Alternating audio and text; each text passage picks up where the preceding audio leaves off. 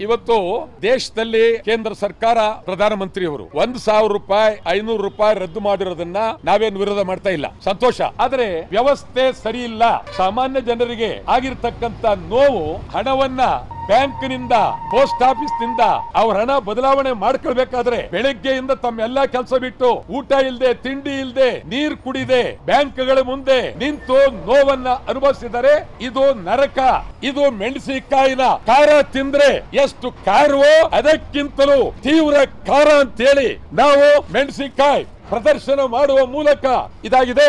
ಅದಕ್ಕೆ ವಿನೂತನ ಪ್ರತಿಭಟನೆ.